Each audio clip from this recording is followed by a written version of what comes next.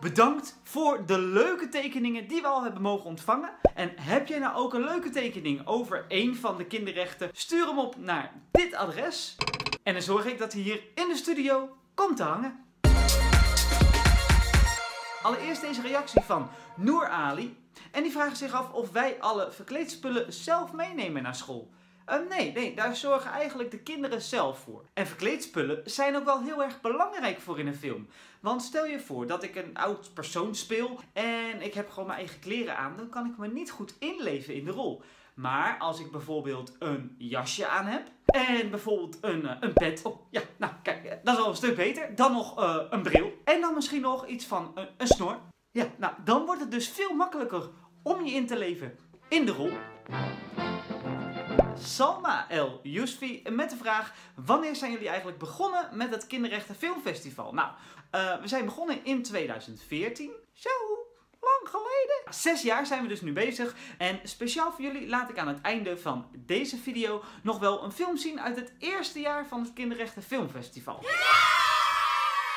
We krijgen ook regelmatig de vraag, willen jullie een keer een livestream doen? Een soort Q&A, dus vraag en antwoord, waarbij jullie dan de vragen gaan stellen en wij het antwoord gaan geven.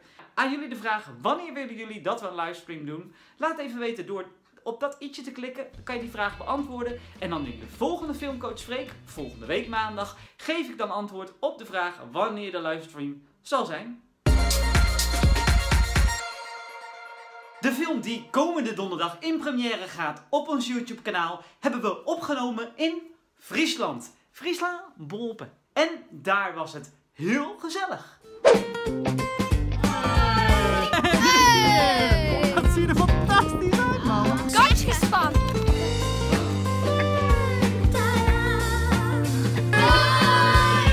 De film die we daar hebben opgenomen gaat over het recht op privacy. En daarvan zie je nu de trailer.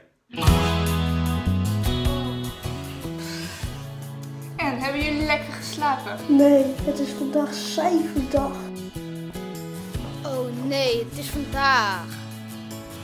Hallo school, school. Uh, het is cijfertijd. Hé, hey, moet je horen, ze gaan de cijfers bekendmaken. Even luisteren hoor. En de loser van de week is...